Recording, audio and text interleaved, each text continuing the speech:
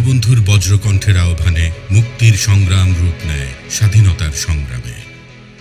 এবারে সংগ্রাম আমাদের মুক্তির সংগ্রাম। এবারে সংগ্রাম স্বাধীনতার সংগ্রাম।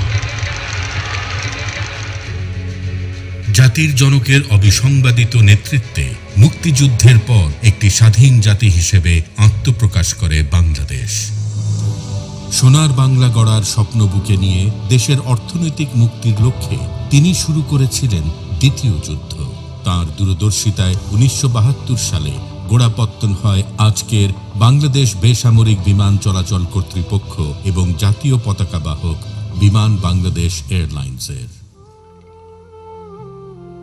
উনিশশো পঁচাত্তরের পনেরোই আগস্ট থমকে যায় সোনালী স্বপ্ন। ঘাতকের ষড়যন্ত্রে শহীদ হন বঙ্গবন্ধু বঙ্গমাতা বেগম ফজিলাতুন্নেসা মুজিব সহ পরিবারের সদস্যবৃন্দ। বিদেশে থাকায় বেঁচে যান কেবল বঙ্গবন্ধুর দুই কন্যা, শেখ হাসিনা ও শেখ রেহানা। বাধ্য হয়েছিলেন নির্বাসিত জীবন বেছে নিতে। ঘোর অমানিসায় পতিত হয় বাঙালি জাতি। নেতৃত্ব শূন্য হয়ে পড়ে দেশ, থমকে যায় উন্নয়নের চাকা। বঙ্গবন্ধু ও তার পরিবারের সকল শাহাদত বরণকারী সদস্যদের প্রতি শোকের মাসে আমাদের বিনম্র শ্রদ্ধা। প্রতীক্ষার দীর্ঘ প্রহর শেষ হয় এক সময়। উনিশশো একাশির সতেরোই মে, প্রিয় নেতার প্রিয় কন্যা, নতুন দিনের কাণ্ডারি, ছয় বছর পর নিজ দেশে ফিরে এলেন। দেশ তখন স্বৈরাচারের পদতলে, গণতন্ত্র ফিরিয়ে আনতে জনতার হাতে হাত মিলিয়ে সংগ্রাম শুরু হলো। স্বৈরাচার নিপাতিত হয়ে মুক্তি পেল গণতন্ত্র। শেখ হাসিনা দেশ গড়ার দায়িত্ব নিলেন। বঙ্গবন্ধুর সোনার বাংলা গড়ার স্বপ্নের সফল বাস্তবায়নে আমরা পেলাম এক অনন্য সাধারণ নেতা।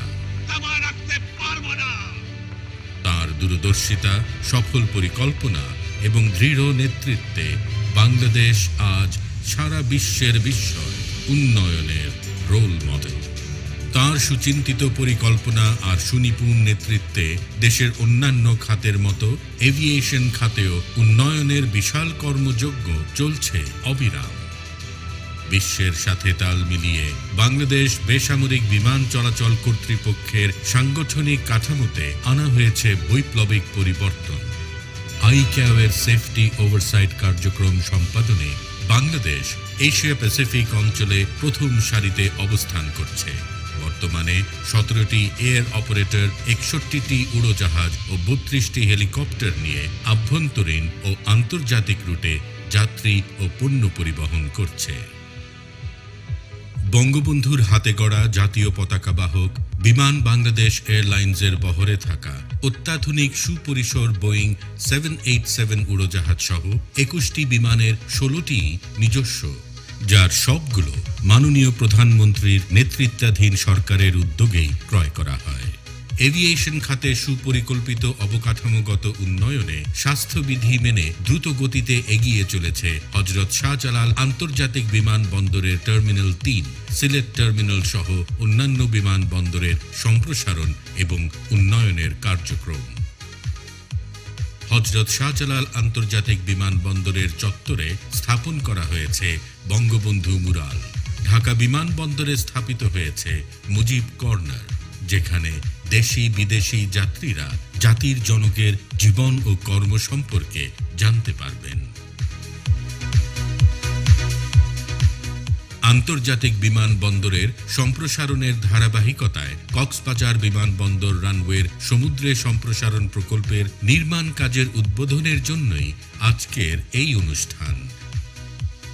দুই সনে মাননীয় প্রধানমন্ত্রী রানওয়ে ছয় হাজার সাতশো পঁচাত্তর ফিট থেকে নয় হাজার ফিটে উন্নীত করার মাধ্যমে কক্সবাজার হতে আন্তর্জাতিক ফ্লাইট চলাচলের পথকে সুগম করেন।